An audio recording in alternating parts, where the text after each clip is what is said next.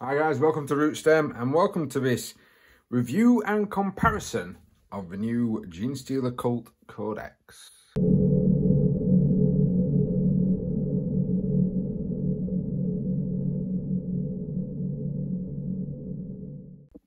Hi guys, thank you very much for joining us. I don't think it's going to be a short video of this. I'm going to be going through brand new Genestealer Cult Codex. Uh, I'm going to be comparing it to the old Codex, uh, unit-wise, maybe having a look at particular weapons that I personally like to use. So I'm not going to be looking at every little thing, um, but I'm going to be going through quite a lot of it. And uh, just basically just doing a comparison, seeing whether or not it's worth the money. Um, I'm going to start, of course, we've got a bit of a comparison with book size. This is the old Genestealer Cult Codex. This comes in at 120 pages. And this one is coming in at 112, I believe. Give me a second, I want to give away my code at the back. Yeah, about 112 pages in total. Um, so there's a lot more in that, surprisingly. And you'll get to know why there's probably more in that in a moment or two when I actually get to the unit sizes. Now, get rid of the way for a sec. what I'm going to do, I'm going to skip a lot of the stuff. So we're going to go straight to the meat and potatoes of the book. We're going to be having a look at um, the rules that, of course, are coming out for these guys.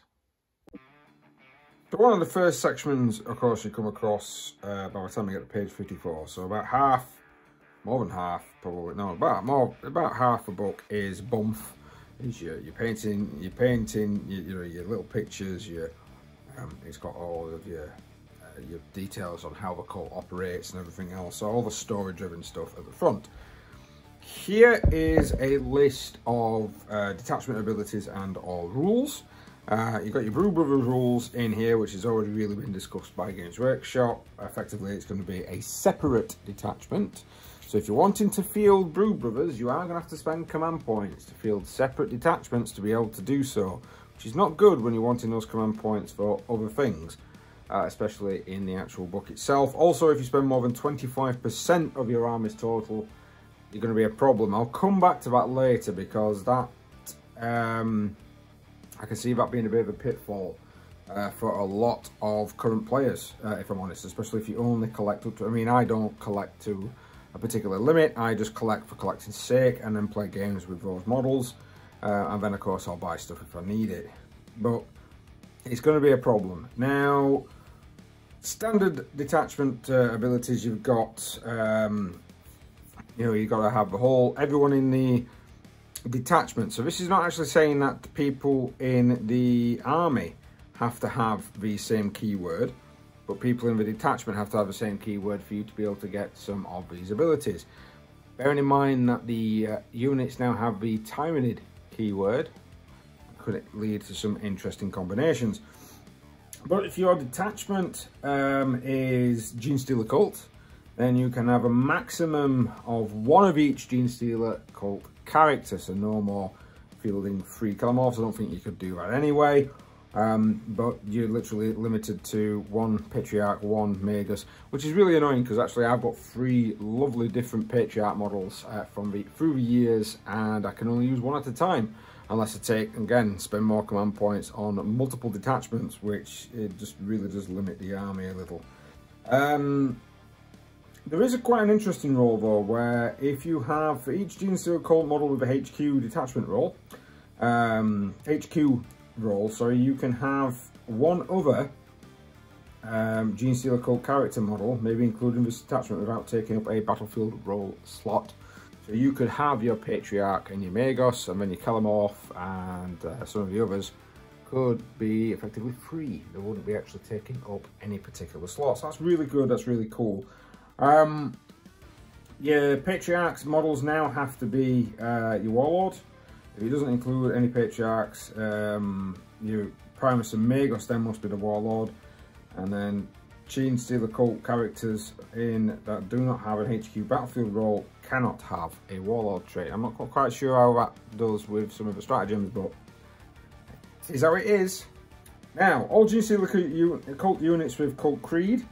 Uh, all Gene Stealer cult units with visibility and all the models in them gain a cult creed provided every unit in a detachment that belongs to a cult belongs to the same cult. That, to me, is reading.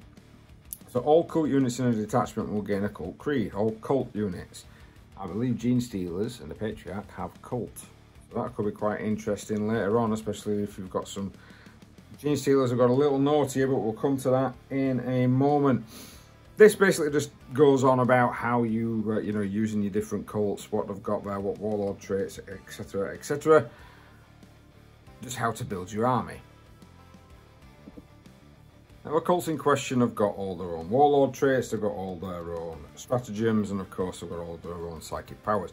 I'm not going to be going through every single one of these. These, I think they've been released a little bit.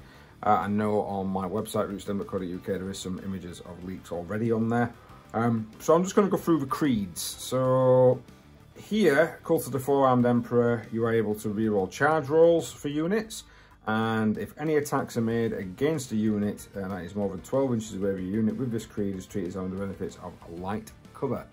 Um, so additional saves and being able to reroll uh, to hits, sorry, reroll charges, that's going to be a really good one, especially when we get to uh, what happens when you go to ambush later on. We've got disciplined militants for the Hive Cult. They're allowed to shoot in a turn and they fall back. But if they do so until the end of the turn, subtract one to hit, a bit like the old Ultramarines rule. But they can't charge, and it's a cult unit. I would rather... it's a cult unit. I would rather be able to actually have Gene Stealer cults have the ability to um, fall back and charge more than the uh, ability to fall back and shoot. But I suppose you if you're playing Hive Cult, you've really got to you know change your army and make sure it's a bit more, um, bit more militaristic, a bit more standard units rather than the usual Gene Stealers and uh, yeah, hybrid units. Uh, you can also perform actions on the turn at which it fall back or advanced. That could be pretty good for a... Um, it, you also can shoot without the action failing. That's really good. That could be really powerful in certain situations, depending, of course, upon what missions, secondary missions you are taking in match play games. In non-match play games, probably a bit rubbish, but there we go. Where the Cog is, of course, the Mechanicus one. Um, all the models in that creed have a 6-up invulnerable save. Um, each time the unit is selected to shoot or fight, you can reroll one wound roll when resolving the unit's attacks. That's always quite powerful, especially when you've got that one weapon that you always want to make sure is getting a good um, good hit. And you can add three inch to the range uh, of uh, character to the range characteristics of ranged weapons that models with this creed are equipped with, excluding grenades and demolition charges. That could be really good with some of the pistols um, Kelermorph's pistol's 18 inch. If you add in another three inches to that, uh, you're getting a good 21 inch. So you pretty much you, all the Kelermorph needs to do is to move up the board, and some people are on that deployment line, they're getting shot. Rusted Claw is uh, nomadic survivalists. Each time an attack is allocated to a model with this creed, has an armor penetration characteristic of minus one or minus two, the armor penetration characteristic of that attack is worsened by one. So effectively you are ignoring minus ones and minus twos, you are ignoring one of those. Um, so anything that's minus one becomes a zero, anything that's minus two becomes a one. That can be pretty powerful against Space Marines, especially their tactical, I'm saying tactical, it's mainly their intercessor teams, which have the ability, especially on turn two, um, with their tactical stratagem to become minus two. Uh, negating that or softening it can be quite powerful. You'd be surprised how many times your percentages on your dice can completely change when that's actually happening. And each time this unit with a creed makes a move or an advanced move in your movement phase until the end of the shooting phase, it counts as having remained stationary. That's only good if you're taking a lot of heavy weapons in your teams, uh, meaning that you're not going to have the traditional minus one to hit, uh, which could be really good when you're combining it with some of the crossfire rules that we're going to come across later on. So the Pauper Princes, this is going to be ones for the people, these are for the people, these two really are for the, uh, the ones that I wanted to make sure you can get in there and get stuck in. Um, the Devoted Zealots, um, they get a plus one to their hit rolls if they do the same thing as Space Marines. So if they charge, if they make a melee, if they, if they make a charge, are charged, or do an heroic intervention, they add one to the attack's hit roll. Also, a, each time a combat attrition test is taken for the unit with this creed, you ignore any and all modifiers, meaning that they only will only ever run away on ones. Quite powerful, especially with the plus one to hit. Quite a lot of Genestealer Cult units will be hitting on threes for your mainline guys. So hitting on twos make, can make a big difference. That could make a giant swing. And then, of course, the one I like to run my favourite, Twisted Helix. Uh, I think a lot of people are going to be running these in future games, mainly due to add one to the strength characteristic of models with this creed, very good. Add one to the move characteristics of models with this creed, that's replacing the, uh, the plus two to your advanced rolls. And then each time an attack is made against a unit with this creed, an unmodified wound roll of one or two always fails irrespective of any abilities that the weapon or, or the attacker may have. That is going to come in handy if you're coming across a lot of special weapons uh, or heavy weapons. Probably you're going to find that that's not really going to kick in a lot for your infantry, um, especially since a lot of your infantry are going to be toughness 3 or 4, and you, if you're going against I always compare everything to the Space Marines because they have a most prolific unit that you tend to, you know, prolific army that you tend to come across in 40k. So I always state that if you're going to come across a weapon, it's mainly going to be strength 4 and it's going to be a minus 1 on average. So that doesn't really kick in. That kicks in when you've got some really big powerful las cannons across from your rock grinders as an example and they need twos to wound. Uh, no, I wouldn't actually need twos to wound. It's something that's really, really powerful coming across uh, some of your tanks. Or, or, if someone's got the ability to be able to plus one to wound, you're going to be able to negate that. That's going to stop certain units being absolutely annihilated by really heavy, powerful weapons. aka uh, some of the more modern stuff that seems to be coming of a Tau. Now you do get the ability to make your own cult creed. But this is really weird. This is very different than what I've seen on a lot of other codexes. You get kind of, um, it's called like, it's like you got points. You've got like myriad cult points, like four of them to be able to spend. So if you wanted to, you could take four of these. Um, or you can take two of them and two of them. So you can have a, a very a good mix of different creeds together. This one does make me laugh over Splinter Cult. Basically, it costs you all four of your points, and it literally says that you, you just use one of the other creeds that's in the book. So, not quite sure why that's in there. Probably to try and make sure that in tournaments, if somebody says, hey, I'm um, Killer Creed 76, but I use Twisted Helix, then it's fine. You know, you've got a, you've got a reason to be able to do that. And some of these are they're all right, but they're they're not really. They're kind of like little bits of the the standard cults that we've already come across. Accustomed to tall, ones and twos always fail to wound, ignore combat attrition. Um, that's quite a good one, this one, where it's uh, each time a model of his creed makes an attack with an industrial weapon. So they've grouped a lot of weapons together and called them industrial weapons. Um, so they ignore any hit or modifiers to ballistic and weapon skill. That could be really good if you've got a lot of um, saws. Um, because they actually, a lot of those weapons are kind of minus one to hit now. Which when you're only getting a couple of attacks can be a little, can be a little infuriating if you can't actually get, you know, if you can't, can't get those hits on there, especially when it's 50-50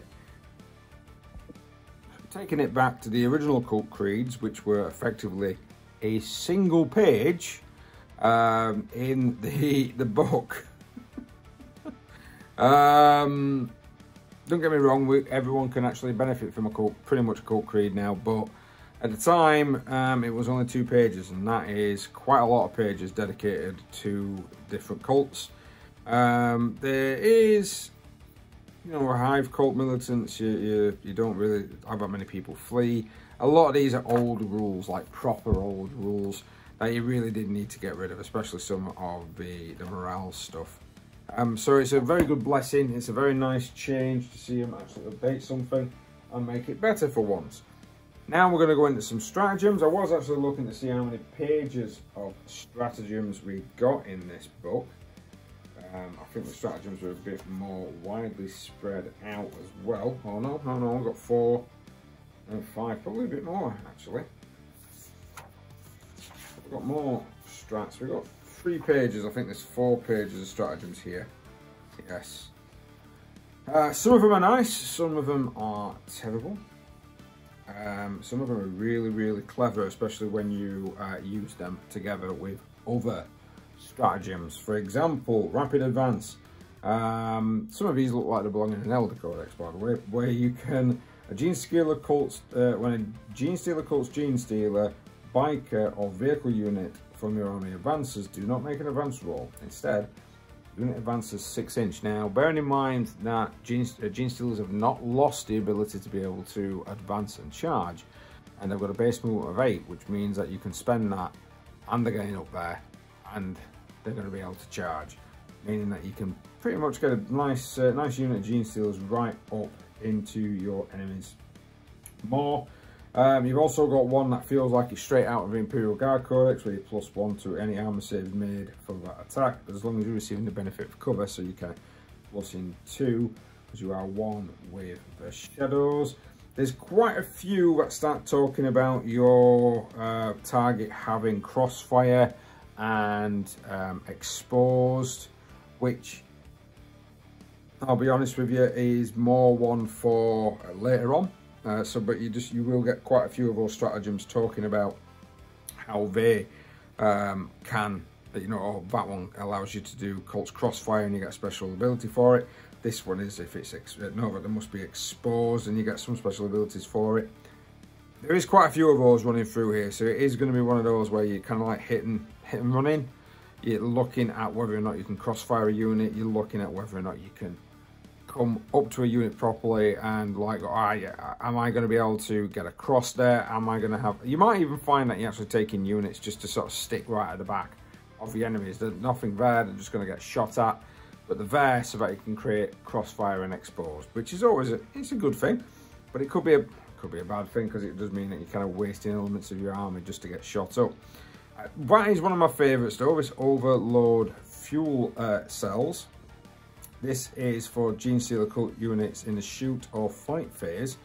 And if it's it's going to overload with an industrial weapon. So we'll come to those again.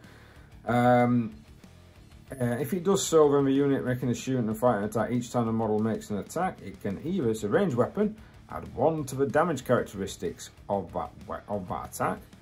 Pretty good, if I'm honest. Um, so, especially when he's trying to take out some tanks or you're coming across that dreaded minus one to damage, which a hell of a lot of units have got nowadays. You can try and negate it.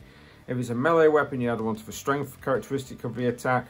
Uh, although the downside is, is that um, if any unmodified hit rolls of one are made for attacks with that weapon, after the attacker's model's unit has finished making its attacks, it suffers one mortal wound.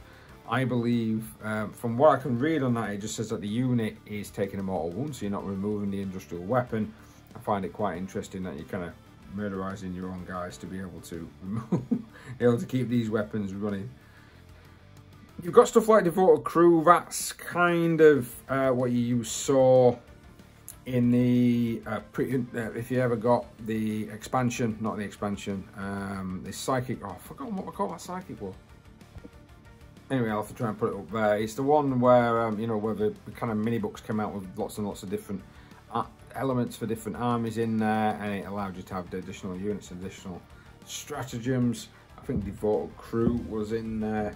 Uh, Rig to Blow is a nice one where you can come up and just explode. I always like stuff like that. Um, Legendary Demise is really good for your Kelermorph. I can see, I've got one. I've not built him or painted him up yet, but I've got one. I can see him being a model that's going to get shown and played with quite a lot. Um, after it's finished unit attacks, uh, when you remove, when you get destroyed, shoot as if it were a shooting phase and resolve these attacks. to destroy Kelermorph model is then removed. That's really cool because it kind of like, it's as if he's being taken, he's taking people out as he's being taken out himself floor there. Um, Gestalt consciousness is quite a you. It's a very strange one because if you manifest a lessened psychic power that instructs you to select a friendly unit, when selecting the unit, you don't have to be within range. You can be anywhere on the battlefield. So any blessing powers, if you a look for some good ones, you can be at the opposite end of the battlefield and give that to a unit. That's pretty good when you've actually got units popping up. So if you've got a unit popping up behind some enemy units and you're thinking, I want to cast that blessing on that unit, you haven't got to have your Magus or your Primarch, uh, Patriarch, sorry, um, appear next to them for them to be able to gain the benefit. They can be anywhere on the board. Like that, that's probably going to get quite, it's going to get quite a lot of use. Um, Reckless Demolitions is quite a good one because some of the grenades have changed for Genestealer Cult because they're actually a lot better than you do uh, you get from your normal um, Imperial Guard where you can literally throw a grenade into um, in the fight phase um, rather than rather than actually just sort of like doing some form of fight. Like you can chuck a grenade, but it's reckless, so you can actually cause mortal wounds against your own units, which is hilarious in my opinion. Quite very much as well. Um, very much so that's what you would do. Um, you see people chucking grenades in, especially when they're being controlled by something alien, and that's kind of just sacrificing their lives to be able to get its own way. You've got um, Leaders of a Cult. That's pretty similar to a stratagem. I think it was two CP before, where you added, and you can give a Magus and a, uh, a, a Primarch, not a Primus, Magus and a Primus and a Patriarch all had Warlord traits. That's pretty much that. If you've got a cult um, if your warlord is the patriarch, went up to two other HQ models can have warlord traits. Now, bearing in mind that there's only three HQ models in here, which is the patriarch, the magus, and the primus. So if you're going to have all three, you are you're probably going to take that, and you're probably going to give them all a warlord trait. Why wouldn't you? Uh, Grandsire's Gifts is just giving people uh, additional um, relics. I always call it a relic. Um, some of these as well now, I'm, I'm going to kind of skip through if I possibly can. Um, you've got Genetic Lineage, which is quite nice because that's the hybrid one from the Psychic Awakening, there we go, Psychic Awakening book. Um, that allows you to uh, just basically mean that the, uh, your hybrids can advance and still charge in the turn. And we can also now, um, until the end of that turn, unit is able to charge in turn in which it advanced. I thought there was one way you could fall back and advance and still do it, but uh, that might be a psychic power actually. That, I like that. Um, I did bring, try to keep using that from the um, book uh, when I could. Uh, the Psychic Awakening book because I thought it was quite a nice power to have. And You've got lots of like tunnel crawlers, uh, which allows people to affect area terrain. Return to the Shadows and Lurk in the Shadows are a little bit different. Return to the Shadows is actually, it's, it's, pretty much the same thing, but it just basically states that you don't go into reserve, you just pop up nine inches away. Um, these Lurk in the Shadows for units from your army, each time a model shoots um, if that unit is not the closest eligible target within 12 inches of the enemy model, then the unit should, and then until the unit that model cannot be targeted. That's a lot better. I mean, it's 2 CP, but it's a lot better than what it used to be. It used to be really bit more overly complicated, that, or if it was the closest and it could do, and yeah, yeah, yeah. This is, if you're not within 12 inches, you can't be shot. So if you've got a unit at the back that you do not want to be shot, you can just play Lurk in the Shadows and they can't shoot you. I find that quite fascinating, I find that quite good. Uh, this one's quite nice. Primed explosive, 1 CP, where you can literally chuck a grenade and it counts as an automatic um, six shots rather than it, or you know, the maximum amount of shots it's needed rather than rolling for it.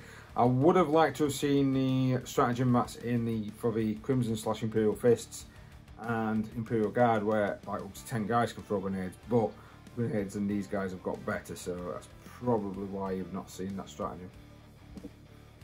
We've also now got uh, proficient, yeah, that one, planning, mm, yes. Um, this is kind of like what you had with the characters from the Space Marines where you could give them the ability to be able to upgrade uh, a chaplain or the ability to be able to upgrade a captain to a chapter master. This is the Genestealer Cult equivalent. Now, a couple of it I do like. Uh, Lying in Wait is the old school sort of ambush stratagem where you can turn up more than three inches away. You probably end up with a unit doing that. Um, especially if you're playing on, I tend to play on a six foot by four foot table, so deep striking is not too much of an issue. But if you are playing on one of the modern boards, which to me is more of a five foot, less than four foot, um, you're not going to have you're not going to have a lot of room. So you're probably going to find yourself using that with a particular unit. You might even want to use it with a very large unit just so that it becomes a bullet sponge. Um, a bit like, right, right, the unit's going to sacrifice itself because people need to deal with it. And if they don't deal with it, then it's going to mess things up. That's also really good if you want to nab that objective from somebody they're about to score a good 10 points having two objectives. It's like, oh, well, my turn, I'll just drop this unit down here doesn't really matter if it doesn't do anything, it stops you gaining an additional five points. Um, Trap Sprung is one I can see being used quite a lot. It's where you can roll an additional dice uh, for your charge. So you roll three, discard one. These, by the way, can only be added to one unit once in your whole entire army, I believe. I don't think it's per detachment. It's like one its power rating increase uh, so yeah I believe that you can only actually take one of these per army. If it's per detachment I will hmm, in fact you know what? Yeah I was correct. I thought I did read it right. It is per army. Um, so it's not something that you can uh, keep sort of like oh I'll just take two or three detachments so I can have three people with traps sprung. You're gonna have to be really tactical on how you're using them. Which is pretty cool because I don't mind doing don't mind doing quite a lot of tactics with Genestealer cults. But it does mean that you're going to have to really think ahead on what you're going to do. And the problem I find with planning is that the best laid plans are great until they make contact with the enemy and enemy always chucks it into uh, a tailspin these are all right these are good they're not a lot of points maximum amount is 20 the lowest is 10 um, and they pretty much all of them are one power. So if you are playing a power rating game, it's going to cost you nothing to be able to add these to pretty much any particular unit. It does state that it is just for a Genestealer cult unit. It doesn't exclude it to certain core unless it specifically states. Now next up we've got some Warlord traits. I've got my old book out, yay, so we can actually have a bit of a comparison. Uh, one is still the same, still called for Focus of Adoration. It's actually, in the old codex, it was infantry and biker units could perform a heroic intervention while within 6 inch, effectively of Warlord. Uh, now it's core and cult pure strain Genestealers uh, within 6 inch of your Warlord. That is actually a big difference because I think Adherents are not a core unit. Um, so if you are uh, looking at taking Adherent units, then they probably not going to come in and help with all that might be one that you don't bother with. Uh, Shadow Stalker is subtract ones um, for hit rolls for attacks that target your uh, Warlord. That is still the same. Biomorph adaptation, add one to the attacks. This is one to the attack and strength characteristic in the old codex. And the new codex will swap that around to attacks toughness. Now that could swing some dice rolls, especially if you've been hit by particular weapons. Um, I know at the moment the toughness of the um, Patriarch is now 5, so it has gone down. But sticking it on there, you're going to be able to boost it back up to the original 6. You've got new one, so this is the only one that's new. It's Prowling Agitant. And once per turn, when the Warlord is selected to target a charge, before the charge roll is made and after firing, any Overwatch, it can make a normal move. So you could effectively fall back with that unit. That's pretty cool if something's only just within charge range and you think, oh, I'm just going to fall back with that one. I can see a lot of Magus units probably using that just to try and make sure that they're not within a charge range. You know, if you're taking up to three Warlord traits, that's probably one of those that you're going to give to your Magus. Then of course you've got um, Alien Magistry, Majesty. Add three into the range of Warlords or abilities. That is still pretty much the same.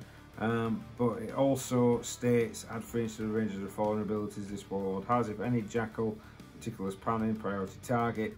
So that is kind of being a bit more specific, but it is, this is effectively the same. Uh, three preternatural. Oh, I can't say half of these words. Preternatural speed. Mm, that one. Number six is each time your warlord makes a melee attack, you can reroll to hit. Now that's completely different to what it used to be in this one. In this one, it always fights first. If the enemy units have charged, even it's similar ability, uh, you can't select this unit uh, warlord trait for a locus. But you gotta remember that I don't think Locus is going to be able to have Warlord traits anymore, so it doesn't really have to include that in there. Um, each time a Warlord makes a melee attack reroll to hit, and at the start of the fight phase of its Warlord's engagement range with enemy units, it can fight first. Not massive improvements overall, but still enough to give you some good options. I think uh, attack and toughness will probably get used quite a lot. I can also see maybe Shadow Stalker will probably get used quite a bit. Speed, now he can reload the hit. Well, uh, the Broodmind Discipline again. Got my old school book out. Let's have a look at. Long way. Let's have a look at some of these psychic powers. Now, I remember which way it is for the psychic powers of Michael Creed. Mm. There we go. Okay, going past the page. Uh, so first one, one and one, mass hypnosis, same. Uh, warp charger seven, same. Select one enemy unit with 18, same. And now you subtract one from the attack characteristics of the models. Subtract one to hit rolls. And in the fight phase, the unit is not eligible to fight until all eligible units from your army have done so. That could be really good to try and stop a unit being able to fight back effectively. Um, pretty good against something like Firstborn Space Marines, or maybe even some of the new uh, Aspect Warriors. If you've ever seen any of those leaks, it does look like they're going to be getting two attacks apiece. Mind Control uh, used to be roll 3d6 and you could make an attack. Now Mind Control is each time it makes an attack, subtract one from the attack's hit roll. If the result of the psychic test was equal to or greater than the leadership, subtract one from the unit's leadership characteristics and one from combat attrition tests. Pretty good against guard, probably. Psionic Blast. I think this one has actually changed. No, is it? Yeah, it has changed. Um, it used to be uh, 18 inch and visible. Uh, look out, so as if it's like a 18 inch. Um, if you roll, it basically used to cause D3 more. It used to cause one mortal wound, and if you got the same as the leadership characteristic, it suffered D3 mortal wounds. Now it suffers D3 mortal wounds, and if you get the leadership characteristic, it suffers 3 mortal wounds straight off. Bit of an improvement there. Mental onslaught, now this has really changed. So what you used to do is, uh, you used to pick an enemy unit, manifestation of 6, it's now manifestation of 5, so it's got better. And it's 24 inches, whereas it used to be, um, used to be 18. This is definitely going up in the world, this particular bar. You each player then rolls a d6 and adds a model. model's leadership characteristic. If your score is higher, the unit suffers one more wound. If your selected model is still alive, and you repeat the process until either the selected model is destroyed, or you fail to inflict one mortal wound. And you see that's just model. So that was pretty good for destroying enemy units. This is changed completely. So you roll, you pick a unit that's visible within 24 inches, and you roll 46. For each result of a 5 up, the unit suffers one mortal wound. If any models in that unit are destroyed um, as a result of those mortal wounds, but the unit is not destroyed, keep repeating this process, reducing the number of dice rolled by one each time, until one of the following conditions are met. Number of dice to roll is 0, you, re-roll, you roll no results of 5 plus or no enemy units are destroyed. That I can see being pretty much a, a guaranteed in quite a few different armies, especially if your Magus is going to be sat at the back um, doing some long range fire support. Now we've got a couple more blessings here. So these are the ones that you're going to be able to spend the command points on to try and put them onto other units. Um, Psychic Stimulus. Now Psychic Stimulus used to be unit within 18. Um, um, it could advance even if it charged. So if it advanced, it could still charge and it always fought first. now it is the unit is able to shoot and or declare a charge in return of which it advanced or fell back, so you can fall back and still charge. Models in this unit do not suffer the penalty incurred to their hit roll for firing assault weapons in the same term in which they in which their unit advanced. That could be pretty good if you've got quite a few flamers in some units or maybe some shotguns. Yeah, that could be really good actually. Um, if you're trying to run right up the field. Might from Beyond is pretty much I think the same. Yeah, it's uh, warp charge. Oh, it's gone down. It's warp charge of six now instead of seven. 18 inch and unit gets attack. The relics I'm kind of going to quickly go through, not in too much detail. Um, Amulet of the Voidwyrm has changed. Um, you now get a 4 up invulnerable save instead of adding one to your saving throws.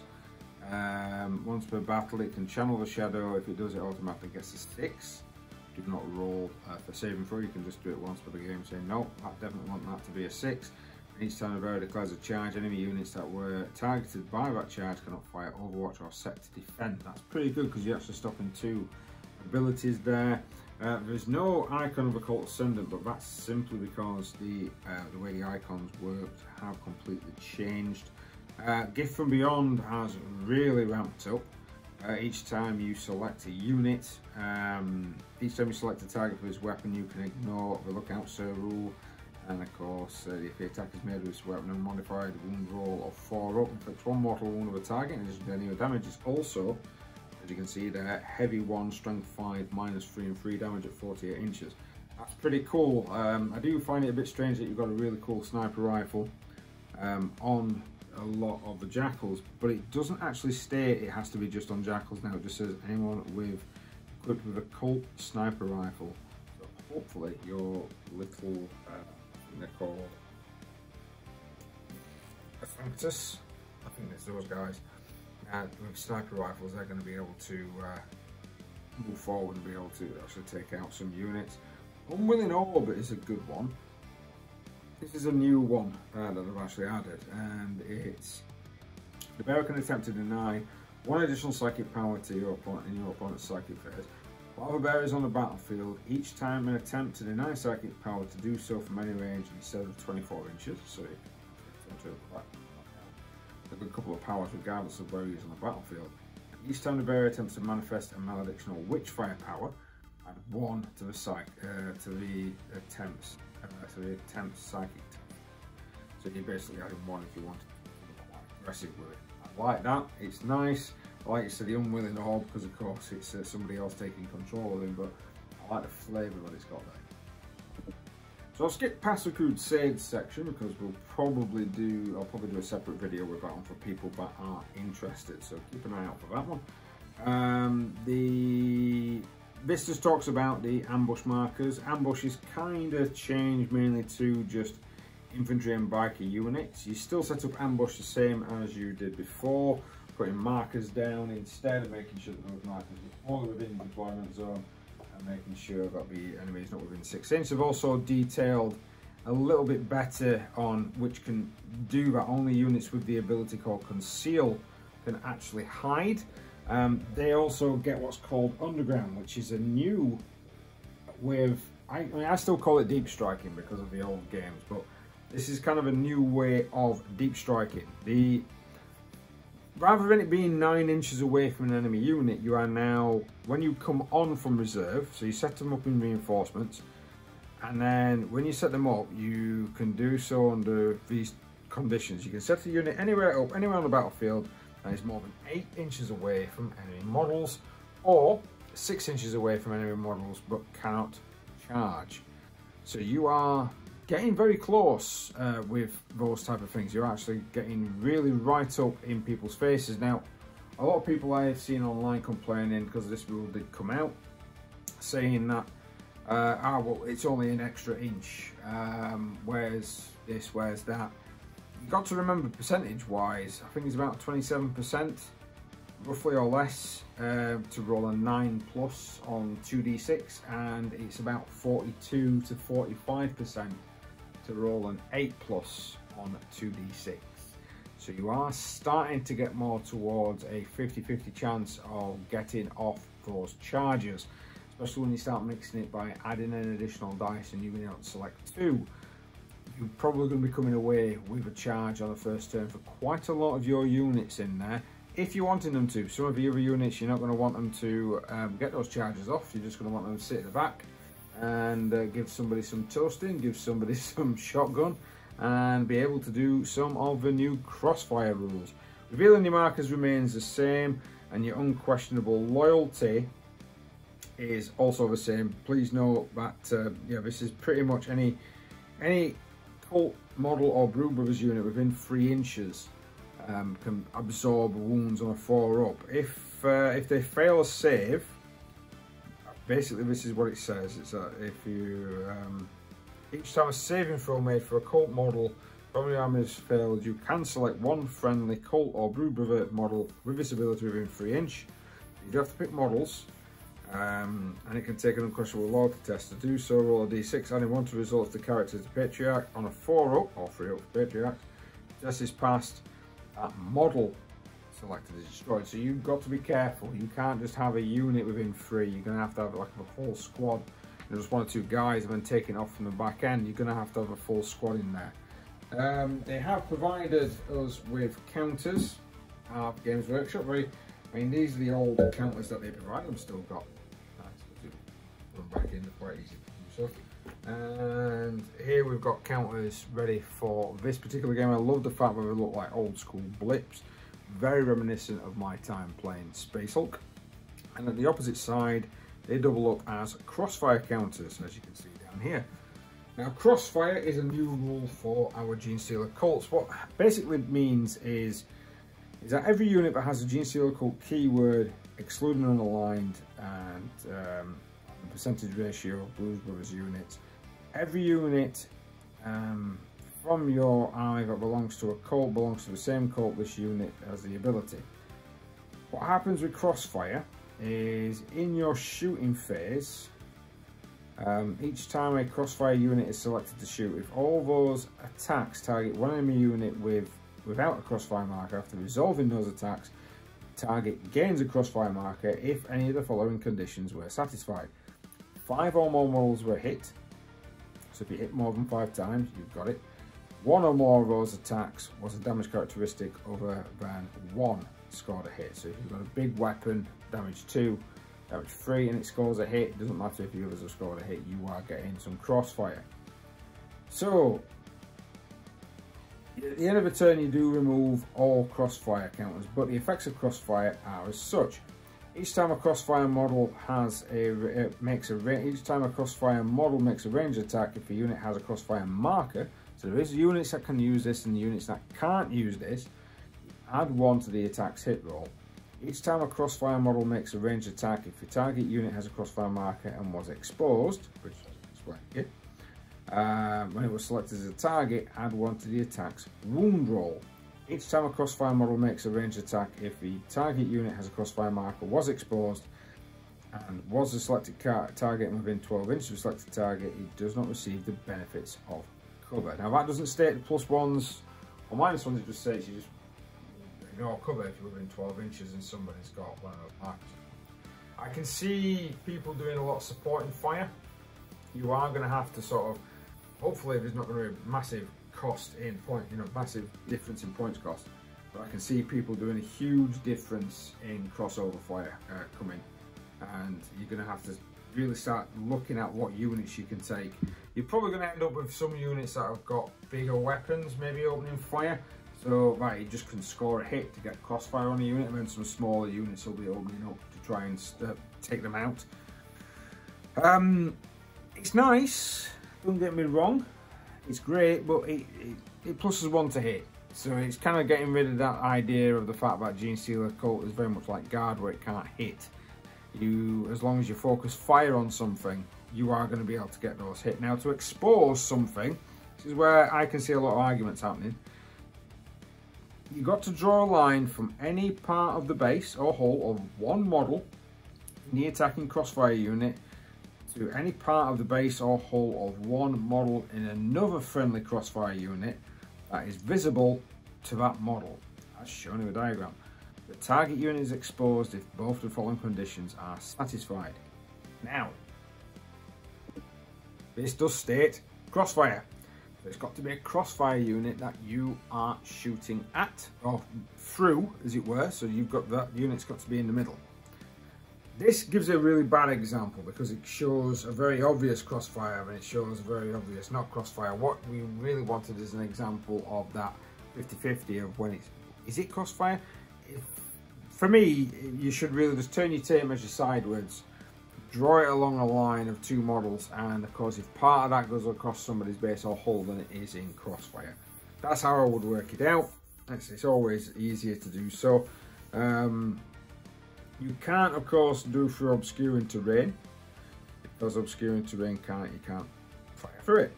So you're going to have to make sure that if there's some ruins there and someone's sat in some ruins, you are behind them in those ruins. You are not just sat the opposite end of those ruins because you are not going to get a crossfire. The only exception to the obscuring terrain rule is if it's something like an aircraft or super heavy that can be targeted through those pieces of terrain regardless. We've also got Summon Occult. Now this, to me, is... A friend of mine actually said this. Games Workshop seems to be thinking of ways to minimise the model count on the tabletop now they've changed the game board size. So now they've changed the board size to a smaller board, they've got to think of a way for you to be able to have good games with smaller, slightly smaller armies, and we've started seeing this where, especially if you play like a thousand point space marines, you don't really get a lot.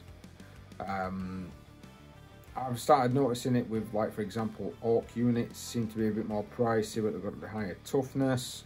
We're probably going to see it with the Eldar ones getting a hell of a lot of invulnerable saves, and we're seeing it with this where you can get a what's called summon the Cult. so each time a neophyte hybrid unit from your army summons the cult, D6 destroyer models can be added back to the unit. Uh, each time any other Genestealer unit from your army summons a cult, D3 destroyer models can be added back to that unit with their full remaining. If a unit could be summoned to a cult more than once, e.g. a unit equipped with a cult icon is also in range of a icon ward. There you go, look at that, changing stuff. Uh, the results are cumulative. However, no more than six can be added back to Neophyte hybrids, and no more than three can be added back to other Genestealer cult units per turn.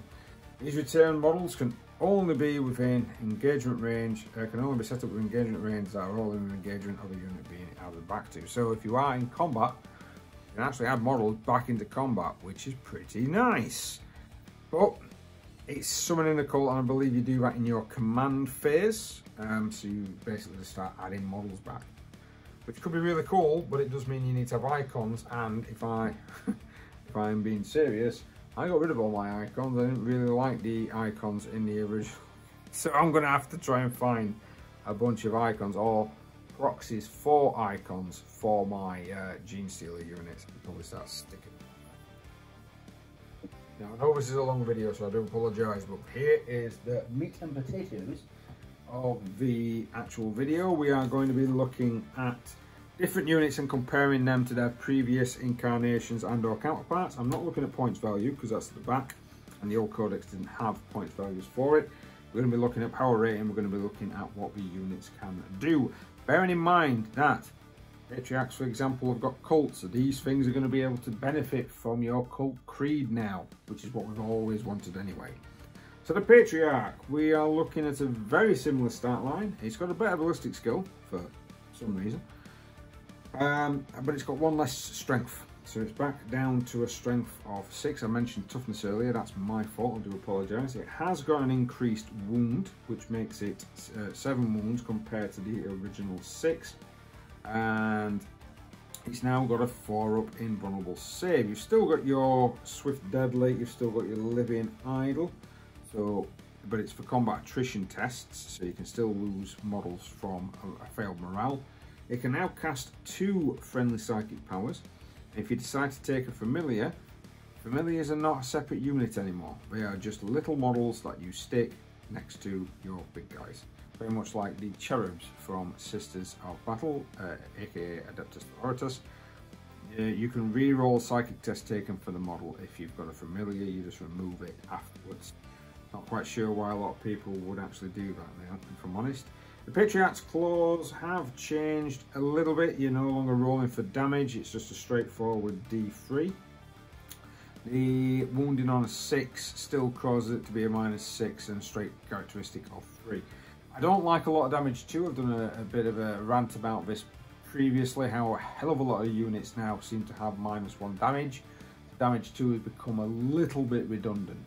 Um, it doesn't really serve much of a purpose anymore because quite a lot of vehicles, quite a lot of dreadnoughts as an example, they just go, yeah, yeah, we're one. Apparently, a lot of the new Wraith Guard units uh, coming out for the Eldar, they're going to have minus one damage, so it becomes a bit of a, well, what is the point?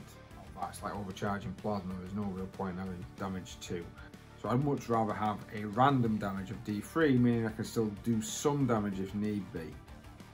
The Primus, he has, uh, he's gone up to toughness 4, still remaining pretty much the same elsewhere. He's got a ballistic skill of 2 plus now. But his uh, scoped needle pistol uh, has got a greater range. Still got sort of like the same profile to it. Uh, your bone sword has now changed again, going up to 2 damage. Not quite sure why. Don't really need it. Our toxin injector is wounding on 4. Oh, but there's now no uh, no 6 to make it a minus 4, which is a bit of a shame really he's also lost his grenades. Um, you can still reroll core units, because of course everything's core nowadays, so reroll hit rolls of 1 for core units within 6 inch of a Primus. Um, but he can now, with his meticulous planning in the command phase, this is every time, so this has got a lot better. Select one friendly core unit within 9 and that unit can reroll wound rolls 1. That's nice, that's a lot different you'll probably find people will start to take the Primuses now and stick them in the back line uh, just to make sure that they're re-rolling those hit and wound rolls. You've got a Magus, of course you've got a Magus before. No real change on the stat line, pretty much the same thing. You do have some nice bio daggers, which just used to be a cultist knife. That's got the ability to wound in a free open inflict a mortal wound rather than it being any form of attack. Your force stave is a bit better, it's got an increase in strength, but your old pistol remains the same. You can also have a psychic familiar. Spiritual leader, well within six, if you would take a mortal wound, you can ignore it in six. That's very different from the, um, one where your units could then deny as if they were psyker. I much preferred it when they could deny as a psyker, especially when you were versing things like Thousand Suns um, but again, you can manifest two psychic powers and deny one. It knows smite and two psychic powers from the Broodmind Discipline. That that's makes Magus for me a hell of a lot better um, because you can cast two. That's the main thing is casting two. It's same with this big lad. Being able to cast two can be a game changer, but they've always been able to take three. So, okay, now next HQ we've got the Acolyte Icon Ward. Um, so that's always a good one. I mean, you can always stick a, uh, a bit of a warlord trait with that one. These guys have gone up to toughness 4, which a lot of the hybrids have, a lot of the big hybrids with the three arms at least have done. Of course, you've got the conceal and unquestionable loyalty. Um, Nexus of Devotion now, it used to be unit within 6 infantry or biker, other than an adherent, um, loses a wound whilst within 6. Um, it you know, on a six up, it ignores um, those particular wounds. Bestial Vigor meant that you uh, rerolled ones when they were doing uh, ignore wounds on a five up for um, adherent units. And you can reroll um, morale tests for units within six. Now, what's actually happening now is it's got Nexus of Devotion. So in your command phase, if a friendly cult core unit's within six inches of its model, that unit can summon cult. It basically starts adding models back to it. Um, the banner can also perform an action, which is very strange because, um, of course, it's the first time I've ever seen really an action done on a unit. But at the end of the of a move unit steps of your movement phase, one icon, uh, icon ward can perform this action. The action is completed at the end of your charge phase. If it's successful, the model performing the action gains the following aura ability.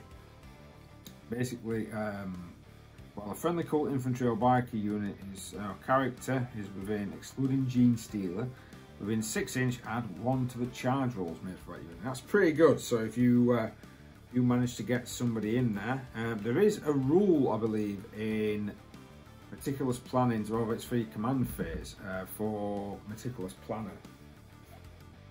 I think it says that if you've got something that you do, not meticulous planning, but anything, any actions that you do in your command phase, you can actually do it when you come in from reinforcements. So Nexus of Devotion, if you want to stick an icon ward in reserve, seal, something takes a bit of a showing up, you could just pop it right in that middle and just be like, yeah, right, okay, uh, uh, that one, or you can you can get some models back. That's always going to be. I think that will be what I'll probably be using him for. Turn three, pop up and add some units. Uh, Jackal Alphus, the ab Abominant, has disappeared from the HQ choices, unfortunately.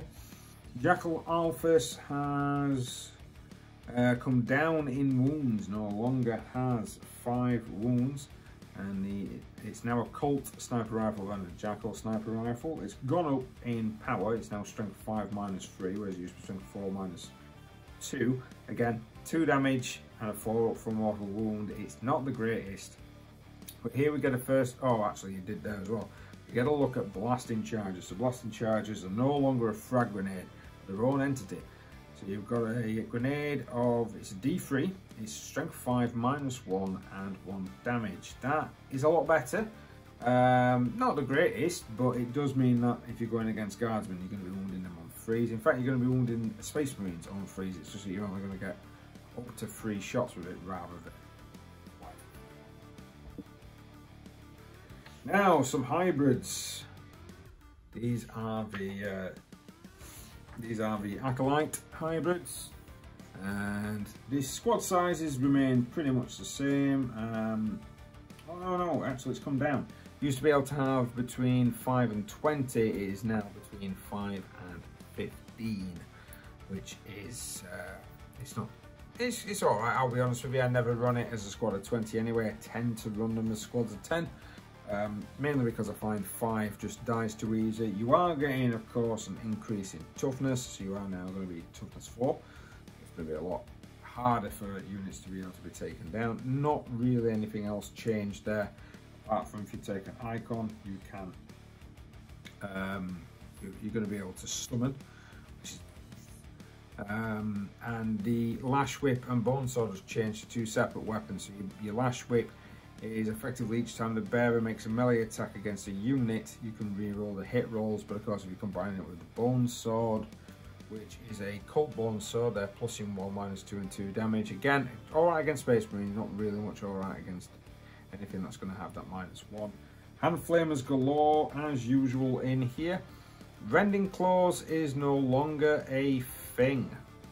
So you've got to remember, you've got to be aware of this. Rending claws used to be a, a minus of one, and if you rolled a six, it was a straight minus four. So you could actually get through some armor. Now what it is, is that it's Cult Claws and Knife. So if you've got Cult Claws and Knife, it's each time the bearer fights, it makes one additional attack with this weapon. Basically meaning that you're going to be getting three attacks per unit, but it's now strength, whatever. Strength you are for, which is still remaining the same. If you twist Twisted Helix, you're going to be strength 5. Uh, minus 2 and 1 damage. So you're no longer going to get those auto kills, but it's more throughout the board. You're no longer one hit kill, you're going to get a minus 2 on pretty much everything across. The heavy stuff has changed, and actually the demolition charge has changed. I'll come to that in a moment. The rock cutter is now completely different. Uh, no, it's not completely different. I do apologise. It's now a straight three damage and minus one to hit. Still subtract one to hit, and it was always um, roll a d6 each time a vehicle, other than a vehicle, suffers damage from this model. If you roll higher than the remaining wounds characteristic, it's instantly slain. That's been removed, so it's just times two, uh, minus four, and a straight three damage.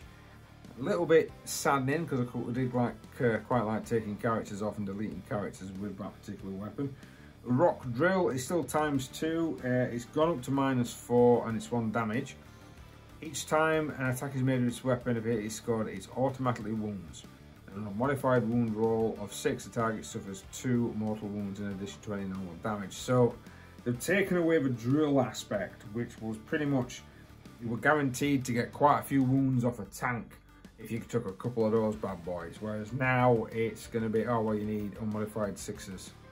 Um, or an unmodified hit roll six to be able to get those two mortal wounds. When you're considering that you're only going to get two attacks anyway, it's not going to be the greatest. Um, you're not going to have the greatest chance of doing something of that nature. Rock Saw has not changed at all. Always good. But your demolition charges have now. Demolition charges used to be. Um, now got blast. I think they had blast anyway. Strength 8 minus 3 and straight 2 damage. But I believe your models with demolition charge get 2. So if you just give me a second. Yeah. For every 5 models, 2 Acolyte hybrids from the Auto Pistol and Cult Claws and knife replaced with one of the following. 2 demolition charges.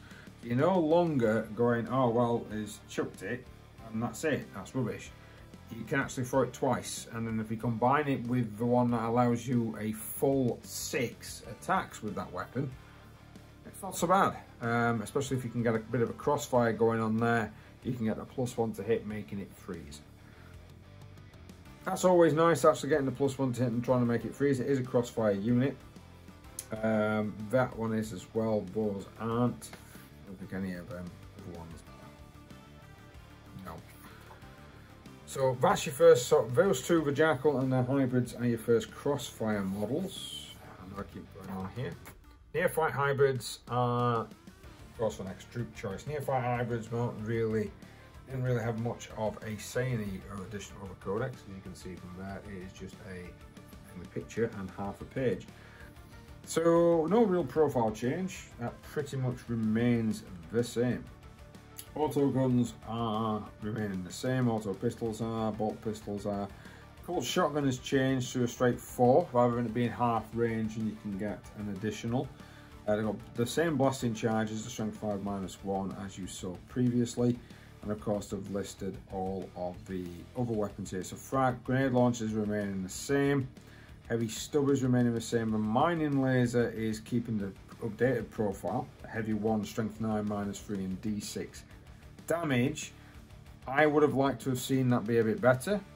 Um, it's not the greatest weapon, if I'm honest. Seismic cannon is, has actually improved. Um, it's more of a, I think the short wave has been increased to 24 inches. Uh, web, web pistols and webbers. Now these are a big change uh, for me. Uh, web pistols, uh, each time an attack is made with this weapon do not make a hit roll, instead roll 1d6 and the, and, and the attack sequence. If the result is greater than the highest strength characteristic of the target model, it's a mortal wound, and a webber can do this D3 times. So for me, that's a lot easier. It was kind of overly complicated to the point where I didn't even bother taking any. I might have to go back out and get some more models for some webbers. Chainsaws add an additional one to the attack. Power Maul is um, plus two, minus one. Uh, power pick is plus 2, minus 2, and 1 damage. Again, only 1 damage from some of these power weapons is a little, uh, it's a little bit of a shame, but hey ho, that's how it goes. Cult icon in your command phase. If your unit contains a model of the cult icon, summons the cult. Always a good thing, and it is for every 10 models. Any model can replace it with a cult shotgun. One model can uh, carried um, cult icon for every 10 models in this unit. Two Neophyte hybrids can have their auto gun replaced with one of the following heavy stubber mining laser and finger and two can replace with uh, grenade. Webbers. Of course you can always pick one different type of outfit for your sergeant. So, mm, pure strength. Now, these guys, these guys are nice. As you notice, there is no Brood Brother infantry squad. All the Brood Brother stuff is gone. Really has, which is really irritating. Pure Strain Genestealers. They've got the same movement, but they've now gone up to a weapon skill of 2. Again, they've got a ballistic skill of 6. I'm not quite sure why. But they've gone up to a weapon skill of 2. So they're hitting on 2s. They've got uh, 4 attacks apiece on profile now rather than the standard um, 3 and I've got a four up invulnerable saves. I've still got the swift and deadly, um, but the again the rending clause has been removed to a straight minus three. which is, is a lot better. It's a lot easier to, uh, to know what you're doing with those guys. Now, if you can cast a few powers on these, you can get them up some good attacks. You can make them five attacks apiece. Um, if you've got Twisted Helix, like I'm going to be having, you're going to be able to have these guys at movement 9, strength 5. Tasty. Very tasty, but you can only longer have 20 of the damn things in one squad. It's between 5 and 10. I'll be honest, I'll probably be running these guys in squads of 5 if I'm taking uh, elite choices, simply because Squads of five of these are going to be nice to nip forward and jump on terrain and hold, uh, jump on objectives and probably hold objectives. If I'm completely honest, there's not going to be a lot that's going to be able to shift them properly. Uh, that might be a waste, but at the end of the day, in the end, the game of a game is to score those objectives, not essentially kill everything. You could be killed completely off the table, uh, but you'd still win the game. So sometimes making sure that you've got units on objectives is the best thing to do and making sure those units don't get knocked off is another good thing. So a couple more nice uh, units coming along here. We've got some hybrid metamorphs. They've not really changed apart from the toughness going up. And what they've good done is Games Workshop, good good good done, is Games Workshop has effectively put all of their metamorph mutations into one easy to handle line called Metamorph Mutations. Plus one to the strength, making them strength 5, minus 3, and 1 damage, which is a bit of a shame. Um, you've got um, talons, you've got the metamorph claw, which I suppose you have different options, but if you're just going to be bringing them in to try and make it easier, why give everything else a huge difference? Now we do have a, um, they've got this is pretty cool, to be honest. This uh, Savage uh. Mm, yeah, that one. Each armor model in this unit is destroyed by a melee attack if that model has not fought this phase. Do not remove from play. The destroy model can fight after the attacking model's units has finished making attacks. After doing so, uh, any other rules is, uh, when it's destroyed is triggered and the model is removed from play. So effectively, if that unit gets in there and somebody counters and smashes them, you're like, yep, that's fine, you smash me. I am going to smash you back. I'm really going to smash you back. And I probably find that hybrid metamorphs, you're going to be running them in large squads. And they're going to be popping up with a cult icon in there. And they're just going to be charging the hell out of everything. That's actually really improved the unit for me. The hybrid metamorphs have definitely got better. I'm probably going to be finding myself buying some more Cult packs so I can actually run and purchase and, and run some of those guys. Yeah, Aberrants, everyone were mentioning these online. These guys have got a hell of a lot better because at one point the Insurrection couldn't decide what strength the word, couldn't decide what toughness the word, could not decide what, could not decide anything with these blooming guys. The points value went up and down more than a yo-yo. It was insane. Now the Aberrants are pretty much the same stat line as previous, except they're now toughness five. They've got three wounds apiece. That is a change. They've also done the same thing as they did for the hybrid metamorphs there with their weapons, where they've just basically counted them as a, uh, it's just a heavy power weapon. So you get a plus three, you get a minus three, and it's a straight three damage.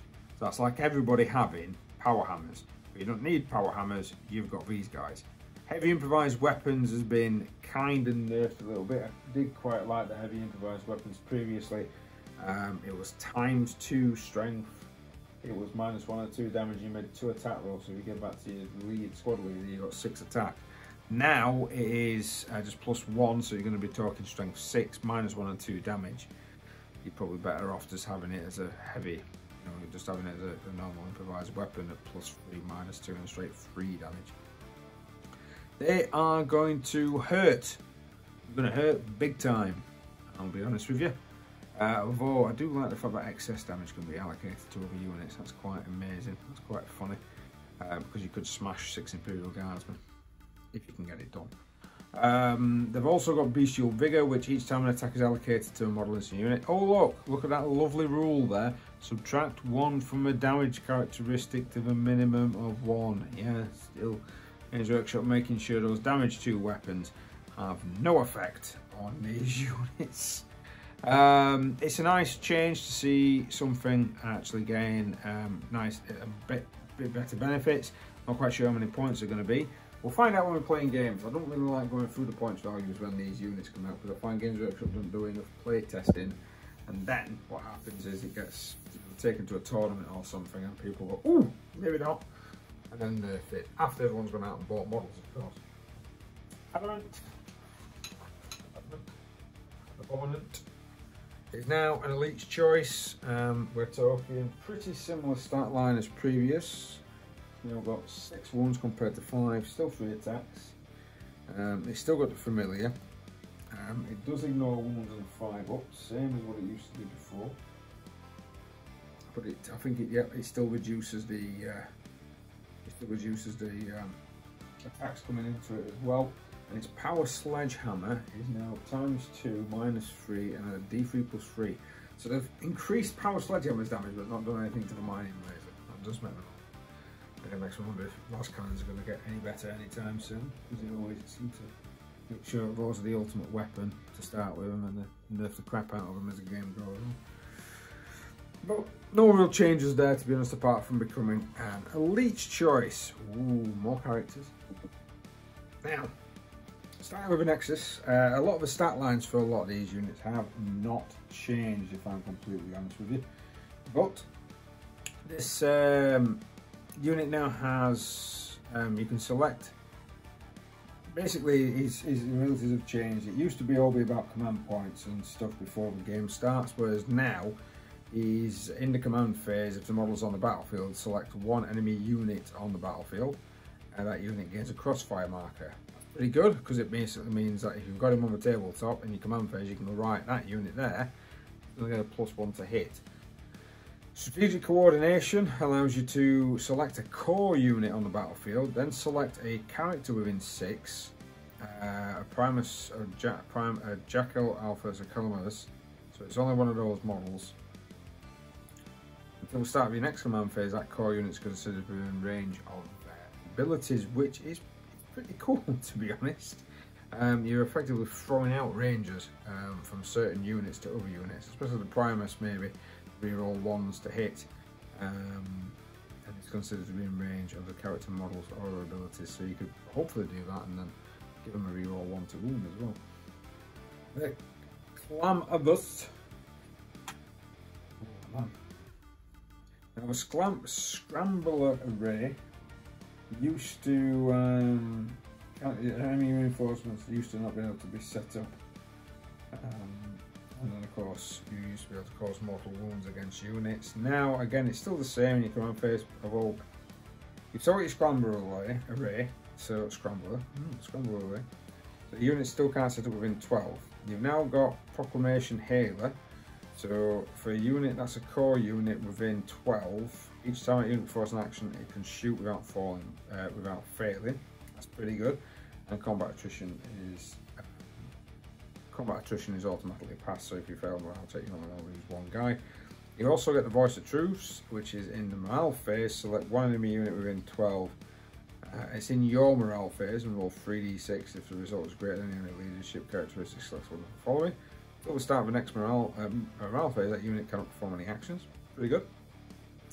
Or you can lose objective secured. Again, pretty good. That actual unit has come into its own by doing that. These are some pretty sneaky tactics, which I will probably find myself maybe purchase because I've not got a lot of these characters, mainly because they didn't really do much for me in the game. Whereas now some of the new changes that is making me think maybe I should purchase one. Locus, again, your profile is not really changing. Um, it is a bodyguard unit and it has a 5 up invulnerable save, which it still used to have before. Now, you pick a character, and that's that character's award. Whereas this used to be, oh no, the locus loses the one with three, so like one of the locus instantly attack with push for local, if you do so, it's two up. Whereas now, it's uh, the model can't be targeted. Obviously, within 300 of its ward, enemy models cannot target that ward with ranged attacks. While this model is a viable target for melee attacks made by an enemy model, that model cannot be targeted uh, target this model's ward with melee attacks. So effectively, you can pick, as a proper bodyguard, you can pick a cult character and go, yeah, you're not hurting it until I'm dead. Which is pretty cool, to be honest with you. I mean, if you wanted to try and take out that patriarch, it's like, nope, It's not happening. That Magus, nope, not happening until this guy is dead. Um, used to be able to perform heroic intervention. Now you're looking, yeah. It's one was able to perform heroic intervention, yeah, so you can still actually do heroic interventions. Start the fight phase model with an engagement range of enemy units. You can strike first. That's pretty much the same. So it's mainly the bodyguard bit that has changed. The Locus, everything else um, is pretty much remaining the same apart from the blades now cause 2 damage.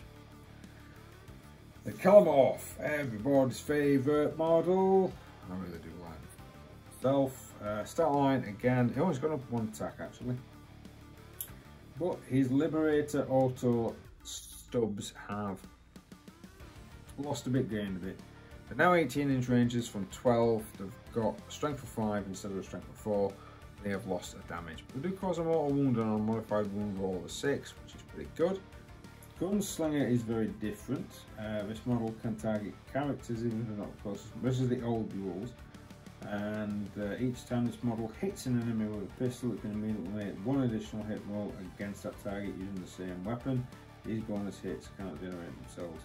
Further, Gunslinger each time a model makes a range attack, if a hit is scored after this model makes the rest of the range attacks, this model can make one additional ranged attack against the same target using the same weapon. you can get up to 9 hits if you're successful enough.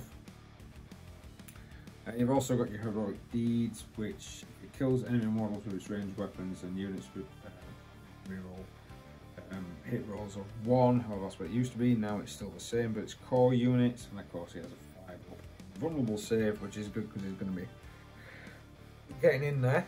Um, the fact that he's got pistol does mean that you're not going to be able to run forward and uh, do an advanced roll be able to get him in there. And he's not very good in close combat, but 18 inches basically means that someone's going to have to really be determined to try and come towards him.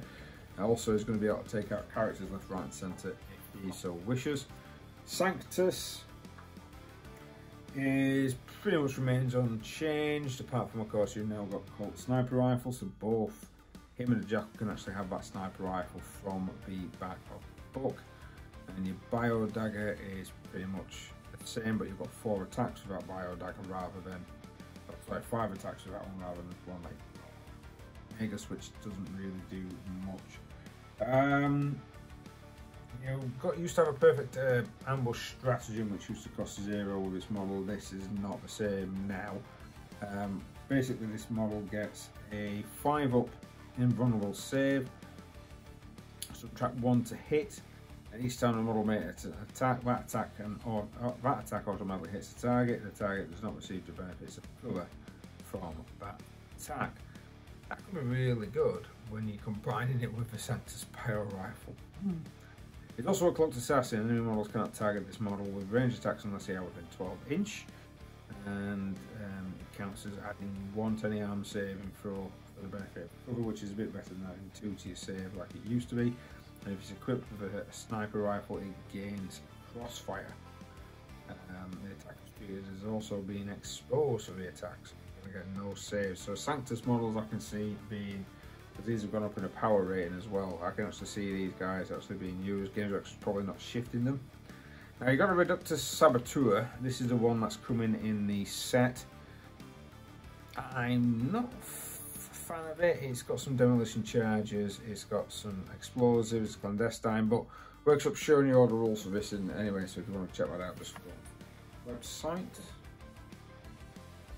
And now we've got some biophagus. Um, these are I've never really used these a lot, if I'm honest with you. Um, the weapons kind of gone down a little bit. Used to cut, injected goad used to do uh, mortal wounds, whereas it doesn't now.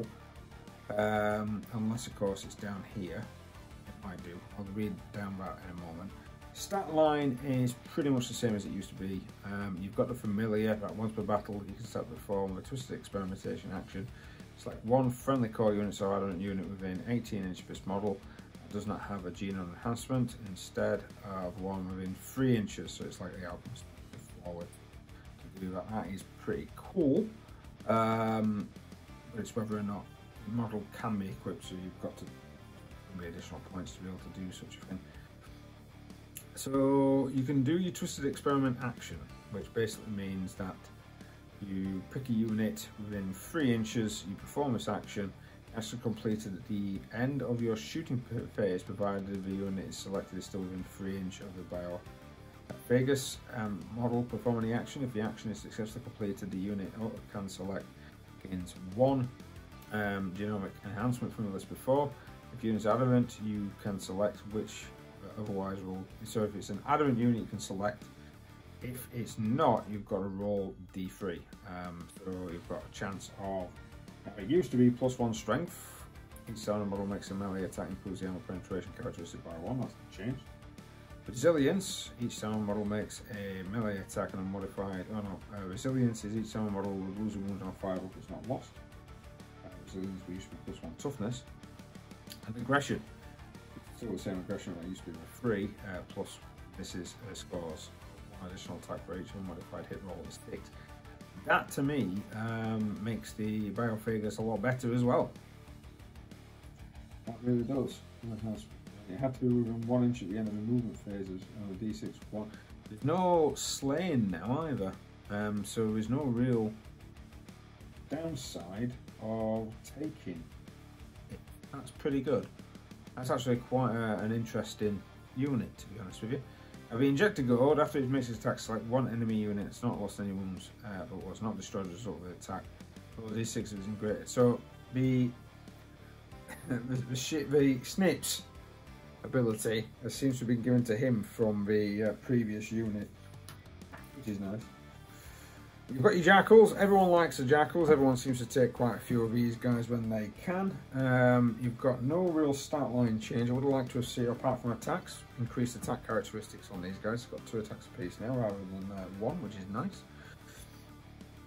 Um, the incinerator is not increased in range and it's not really changed in its stat line at all.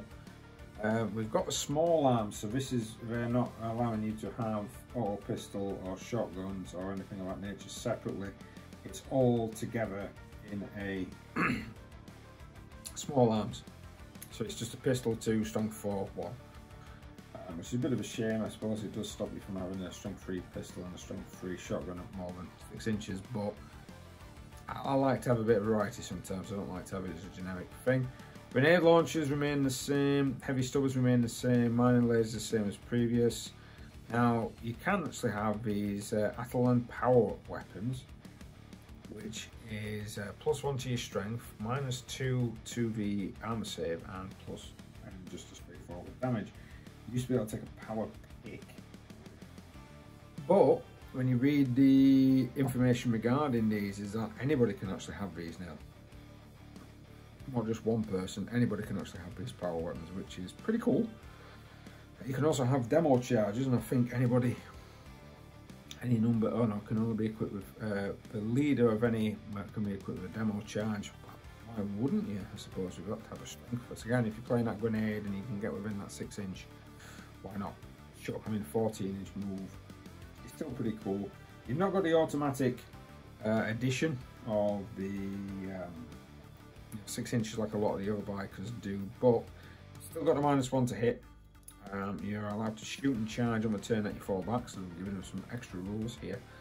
Um, you count as being exposed, the target counts as being exposed if it's within six inch, so it's going to be ignoring um, cover saves, that's pretty good. Scout at the start of the first battle round before the first turn begins. If your unit's not been set up an ambush, it can make a normal move within 9, so you can pretty much run up the battlefield with these guys. So we've got quite a few of these units, which I know some people have. Get them in there. You've got the Ridge Runners. Ridge Runners I don't think have changed much. Oh, the toughness has gone up to 6. That's not really going to change much in what's actually going to be happening. The leadership has gone up to 8. Um, the missile launcher has changed because it used to just be a standard missile launcher, which is a bit of a shame because I quite like the standard missile launcher. I'm not really keen on this every free strength 6. It's minus 3 and it's 3 damage, but it's a strength 6. A lot of vehicles you're going to be needing 5s to wound. so you're not really going to, you're not really actually exchanging a lot on that one. You can have the mining lasers, the heavy ones, which of course is... Uh, my stat line has not changed at all, but it does have blast. And your heavy mortars up in one strength. Yeah, again, they can target a unit that's not visible. Flare launcher. Uh, what was the flare launcher here? It basically meant that if you lost a wound on a 6, you didn't lose a wound. And you can select one friendly back unit within 6 inch of model, that model an additional 6 inches of advanced space, not dice roll necessary. That's been removed, which is a bit of a shame. Enemy units do uh, need to minus 2 if got flare launcher added. You actually have a spotter, which adds 12 inches of range characteristics of the weapons the bearer has, so you can change some of those. That'll be really good actually, that'll mean it'll be um, 60 inches for your uh, heavy mortars. So if you've got a unit that you want, this type of unit you want to stick, well, you're not really wanting to stick this type of unit in the back. You're wanting to move them around. They've got scouts, so we can actually do the nine inch move the same as what the jackals can do. I'm not quite sure why you'd be keeping these in the back, but we've got no real survivability. We do start getting shot up.